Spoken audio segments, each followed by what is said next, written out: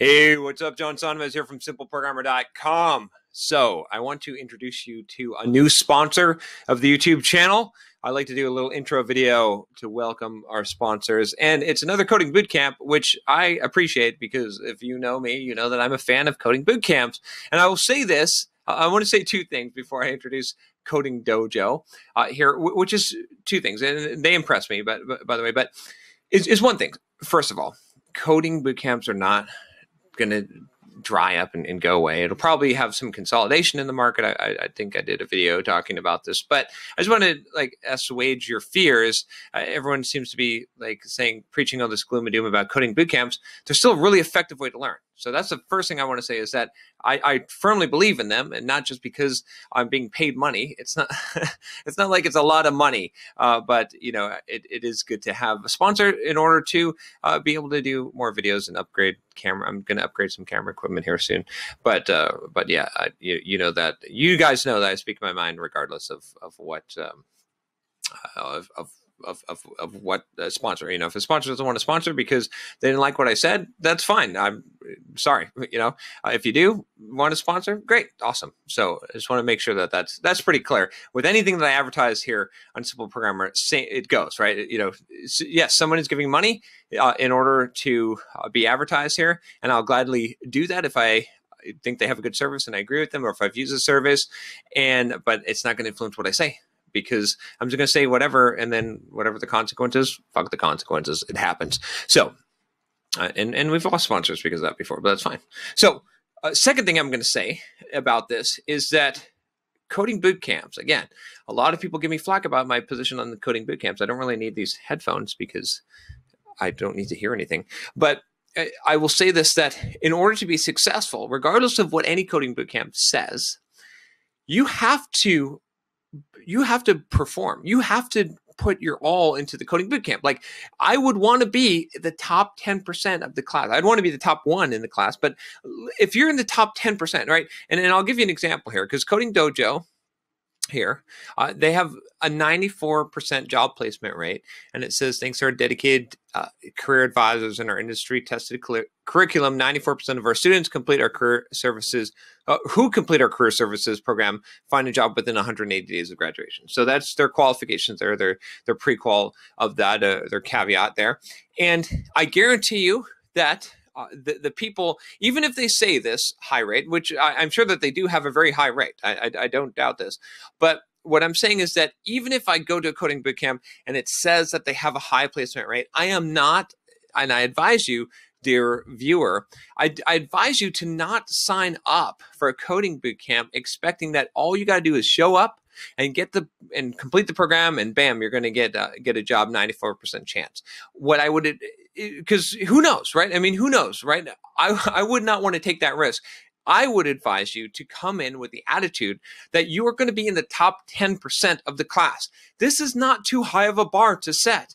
Most people who sign up for shit, they don't do the work and they don't put in the effort in order to be in the top 10% of anything, right? I'd, I'd be aiming for number one, but come on, everyone that's listening to this that's that if you're subscribed to my channel or you're listening to my my youtube videos you're capable of being in the top 10% the competition is usually not that difficult. So if you're not planning on doing that my advice just my personal advice is like i said is don't sign up for coding bootcamp but do do sign up and do plan on being in the top 10% okay so with that said I want to show you Coding Dojo. I was very impressed with their programs. There's a couple of reasons why I like them and why I was happy to do a sponsorship with them, uh, which is that they have a lot of different programs. So they have an on-site bootcamp, an online bootcamp, a dev accelerator. Uh, they have an even an Alexa skills workshop. That's pretty freaking cool. I wanted to create some Alexa skills stuff. Uh, they of course have you know scholarships and whatnot, which you can you can check out. But what's really cool here is that uh, that they have three full stacks and they have career service. Now, a lot of boot camps have career services, but and they explain, you know, if you want to know where the full stack is. But here's the stacks. This is kind of cool. So iOS, Swift, Ruby on Rails, Python, Mean, C Sharp, .NET Core, and Java. And these are the things that make a lot of sense. They even put the companies here that you might you know get hired on with afterwards uh, and it makes this this makes a lot of sense to me I, I haven't seen coding boot camps really laying this out uh, because I always tell software developers, I'm like, you got to pick, like, don't tell me you want to be a front end developer or don't tell me you want to be a back end developer or web developer. You got to really be specific and say, what is the stack, right? Because when you apply for a job, you're not applying for a generic job. You're usually applying for a job with a specific technology or a specific stack. And if you want expertise and you want deep knowledge and you want to know what you should study, you got to you got to have uh, something to study. So I like that they've divided this up here of course, they've got uh, uh, some testimonies for you know how many students have graduated and average starting salary, which this uh, sounds good to me. And you know companies that have hired their alumni, you know there's there's a pretty decent uh, number of, of good companies there. So uh, I, I, I like them. I think that uh, it's a good program. I haven't taken the program myself, but I've definitely heard people talk about it. And and like I said, I, I did a look, a thorough look, and, and checked them out. And you know I, I'm I'm happy to have them as a sponsor. So welcome uh, Coding Dojo. Hopefully they'll they'll stick around and, and hopefully uh, you'll you'll check them out. So I encourage you to go over check out their site. You know, see, watch their videos, ask questions, whatnot, and and and see if uh, it's a good fit for you. But it looks it looks like definitely a good boot camp to me again, you know, do your own investigation, you know, vet things out, ask questions, make sure before you you put down the money. And and like I said, number one most important thing that's going to determine your success it's what you put into it. So plan on graduating at the top 10%.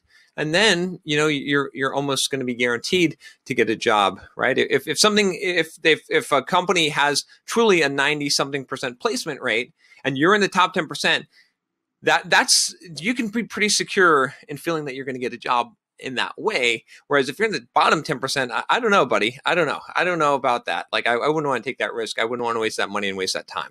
So there you go. That's Coding Dojo and uh, go check them out. Uh, you can find a link here and in the description below. All right, I'll talk to you next time. Take care.